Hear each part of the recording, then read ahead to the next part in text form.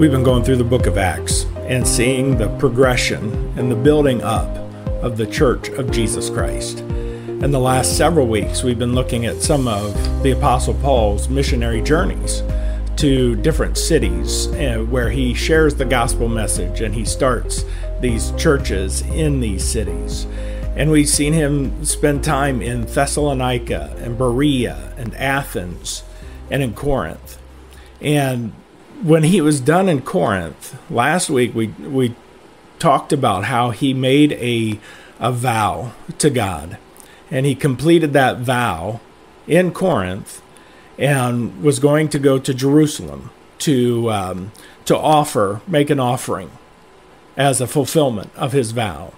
And so he leaves Corinth and he passes through Ephesus on his way to Jerusalem. And we see, we, we read that when he got there, he went to the synagogue and he taught. And some of the people believed the message, but others wanted him to stay longer. But he wanted to get to Jerusalem uh, to complete that vow that he had made.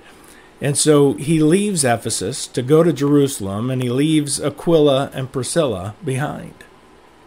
Well, he leaves for Jerusalem, and along comes a man named Apollos.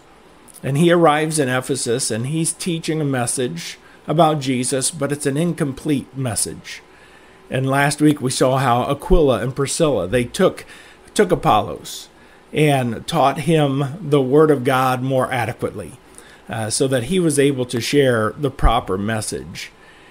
And after some time in Corinth, Apollos wanted to go on to Achaia, which would have been to Corinth, which was the capital city of Achaia. And in response to his desire to go to Corinth, the the followers of Christ, they wrote letters of recommendation for him and sent him off to Corinth. And now we come to Acts chapter 19 and the first 10 verses where it says while Apollos was at Corinth, Paul took the road through the interior and arrived at Ephesus. There he found some disciples and asked them, Did you receive the Holy Spirit when you believed? They answered, No, we have not even heard that there is a Holy Spirit. So Paul asked, Then what baptism did you receive? John's baptism, they replied. And Paul says, John's baptism was a baptism of repentance. He told the people to believe in the one coming after him, that is, in Jesus. On hearing this, they were baptized in the name of the Lord Jesus. When Paul placed his hands on them, the Holy Spirit came on them, and they spoke in tongues and prophesied. There were about twelve men in all. Paul entered the synagogue and spoke boldly there for three months, arguing persuasively about the kingdom of God. But some of them became obstinate they refused to believe and publicly maligned the way. So Paul left them. He took the disciples with him and had discussions daily in the lecture hall of Tyrannus. This went on for two years, so that all the Jews and Greeks who lived in the province of Asia heard the word of the Lord. And so we see Paul's experience as he returns to Ephesus after that brief time as he was passing through on his way to Jerusalem. Now he's back. And his experience with the believers in Ephesus reveal three truths. I'm sure there's more truths than that, but three truths about our God. And these truths can have a profound impact if we can learn to live by them. The first truth is this the Spirit of God is present and personal. You know, the first thing Paul did, he came to uh, approach some disciples when he entered into Ephesus. And the first thing he asked them was, um, Have you received the Holy Spirit? And the response was, We didn't even know there was a Holy Spirit. Well, what baptism did you receive? Well, we received the baptism, John's baptism. And he says, Well, John's baptism was for repentance. But there was one coming after him that we are to be baptized into. And that, that person is Jesus, through whom we receive the Spirit. And we read in Matthew chapter 3 where where, um, where John the Baptist, he says, I baptize you with water for repentance. But after me comes one who is more powerful than I, whose sandals I am not worthy to carry. He will baptize you with the Holy Spirit and fire. And it's one of those lessons that we need to learn, know, come to terms with. The fact that we are to be baptized in the Spirit of God. The baptism with water is for repentance of sins. And when Jesus came into this earth, or when he came and Jesus himself was baptized in the Jordan for as for repentance, when he came up out of the water, the Spirit descended upon him like a dove and landed upon him. And the voice from heaven proclaimed, This is my Son, whom I love in whom I am well pleased. And so there's a spiritual act to that. There's a spiritual part to that. And in this passage, we see that Paul laid hands on, on the, the disciples and they received the Spirit and they began speaking in tongues and prophesying. And I think it's a good question for us, too. Have we received the Holy Spirit? What baptism, what baptism have we received? We've received the, the baptism with water. Have we received the baptism of the Spirit? But how can we know? How do we know if we have the Spirit within us? It's a promise that God has given to us, Jesus gave to us. You know, I must go away and prepare a place for you so that I can return and I can bring you back to be with with me. But while you wait, I'm going to give you a gift. I'm going to give you another. I'm going to give you a counterpart. I'm going to give you a spirit. The spirit of God. And as we if we believe in Christ, he has promised us his spirit. And if His Spirit is in us, we can live by Him each and every day because He is present and He is personal within us. We just have to learn and we have to seek God, asking Him to help us to listen to the Spirit of God.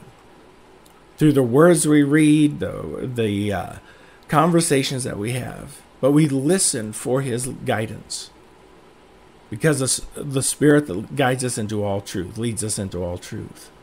And when we hear the voice of God through that Spirit, that we obey what He says, trusting that He is guiding us to where we are supposed to be, that our lives are continually changing for the better, and that we are growing in faith and love and joy in the Lord.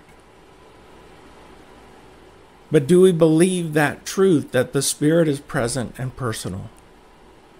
He is in us and wants to live through us every day. Another truth from this passage, number two, the kingdom of God is now and forevermore.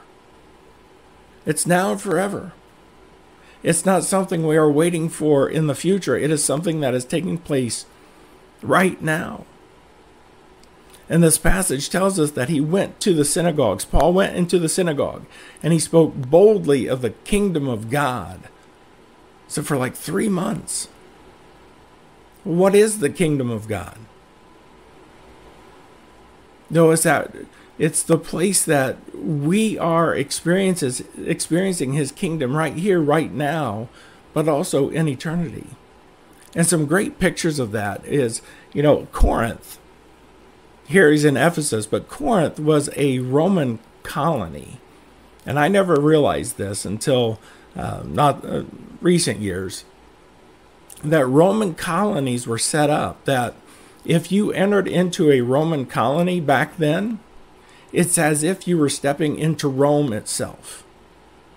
There was a familiarity there was a cohesion between uh, a Roman colony and Rome itself. The streets would be alike. The, the money used would be the same. Everything would be the same as it was in Rome. The laws that were followed.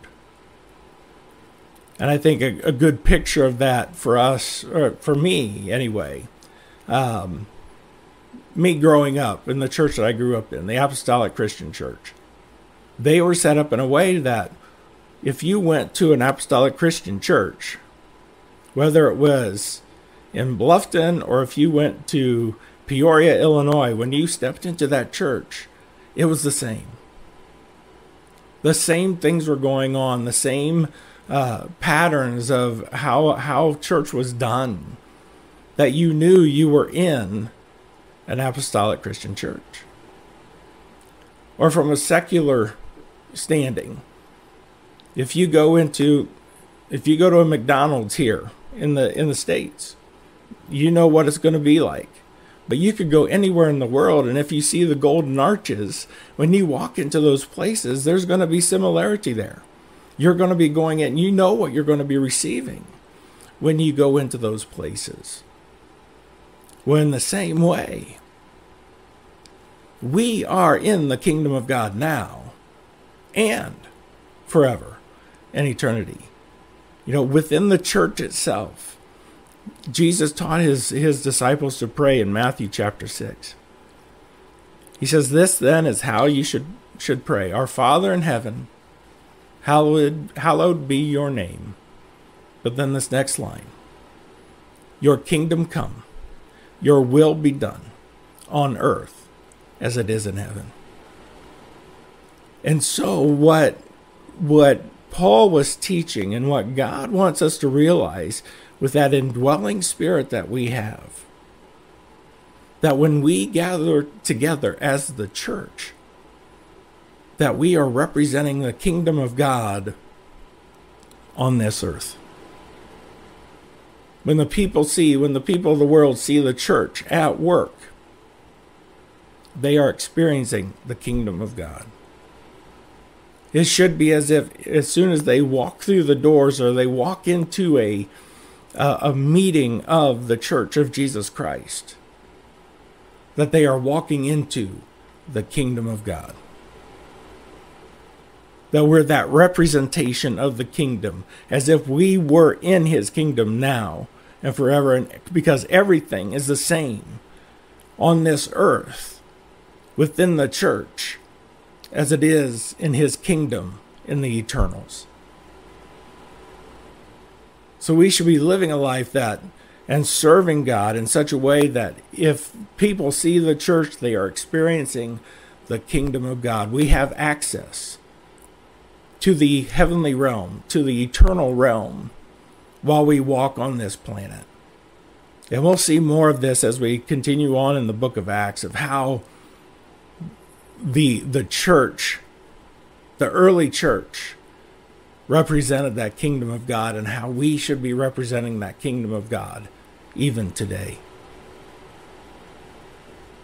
But then the third truth from this passage is that the riches of God are searchable and limitless.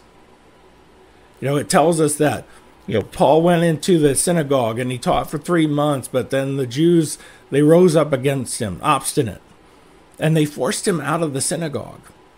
And so he takes the, the disciples that were following him and he had daily discussions in the lecture hall of Tyrannus. And apparently it's uh, commentary talks about he returned when when the apostle Paul returned to Ephesus. It tells us when his efforts to teach in the synagogue were rebuffed. Paul rents a hall from Tyrannus where he teaches about Christ. Over the next 2 years, Paul's ministry impacts over 2 million people. And so he goes into this, this hall, the Hall of Tyrannus, and it says every day, every day they had discussions about Christ. Every day. And another commentary said that it would have been every day, probably from like 11 to 4. Because back in that time, people would do their job, do their work until about 11, and then they would take a break from 11 to 4, the heat of the day. So from 11 to 4 every day, five hours a day, Paul was discussing Christ with these disciples for two years. And what that speaks to to me, to us, is that they could meet daily and never exhaust the greatness of God. They could never exhaust the, the greatness of Jesus Christ. And that boggles my mind because sometimes I find it hard to talk for 20, 30 minutes. And Paul was talking five hours a day for two years. And still was unpacking who Christ was. And it's really, that's true for us too. You know, we should be able to un- unpack what Christ is, who Christ is, and how he lives in us, and what he does in us and through us. And we never exhaust the greatness of our Savior. Now, you take a look at the things around us, our own planet, and we keep searching for things and we keep finding new things. I think about the fossil fuels, that's a big issue, hot topic today, has been for many, many years. We're going to run out of fossil fuels. But the more we dig, the more we find. Unfathomable, unsearchable the riches that are within this planet in which we live, where we can find oil and gas, natural gas. We can find diamonds and and rubies and, and in the seas we find pearls and, and the more we search the more we find. Or consider the universe in which we live. We are just a speck of dust in the galaxy in which we live, the Milky Way galaxy. And yet we are one of hundreds, if not thousands or millions of other galaxies in this universe. As astronomers look to the skies, each and every day they're making new discoveries. And it's inexhaustible. And that's who Christ is for us as well and Christ is represented in the scripture as you know when when God led the people of Israel out of Egypt through the wilderness and into the promised land. The promised land is described as a land flowing with milk and honey. There were so many riches there they would they would be satisfied with all that is found in the promised land. Well that promised land represents Jesus Christ himself where Paul talks about the unsearchable riches of Jesus Christ. The more we learn of him, the more we the less we actually know because there's always more and more and more that we can learn of who our Lord is, what he has accomplished, what he is doing here and now in us, through us, for us, by us. It's inexhaustible. And so I want to encourage you today that, you know, the truths of Scripture, the truth about the Spirit of God in us, that we can get in tune with Him and, and that He will guide us in our day to day walk with Him. And when it comes to the kingdom of God, to, to understand and become that expression of the kingdom of God Thy kingdom come, thy will be done on earth just as it is in heaven. And that we are part of the expression of that kingdom. And when it comes to the riches of God, the riches of Christ, that we are awestruck at all that God has for us, is doing for us, has done for us, and continues to do each and every day. And that through it all that we may represent him in everything that we do and say, for His glory. God bless you. Have a great day, and I'll see you next time.